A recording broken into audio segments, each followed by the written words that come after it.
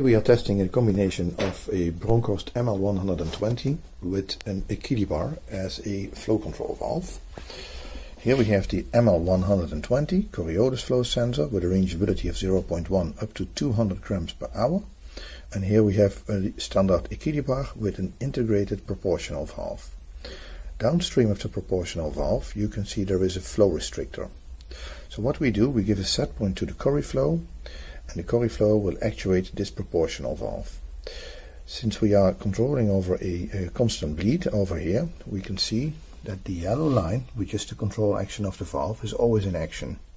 This allows us to control a very stable flow and make just minor adjust adjustments with the valve.